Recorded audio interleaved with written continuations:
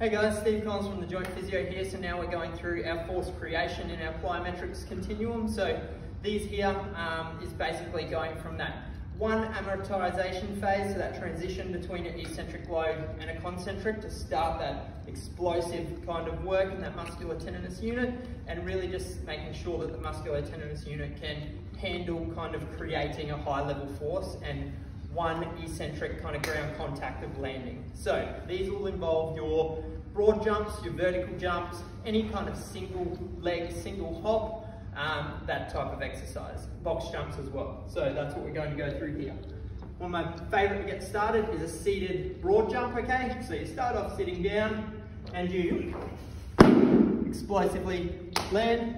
Again, those movement strategies that you worked on previously are carrying over to this. We also have our seated vertical jumps, okay? So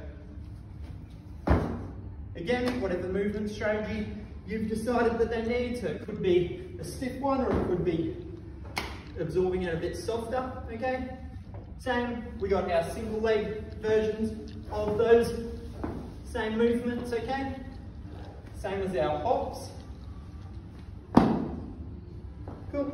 And then the humble box jump. Now, the thing that most people get wrong with this is setting a box that's too high, which means that the person is actually landing and not working on trying to get their hips up as high as they can. Instead, they're trying to just flex their knees. So what you don't want to see is a box so high that they have to be landing with their hips low.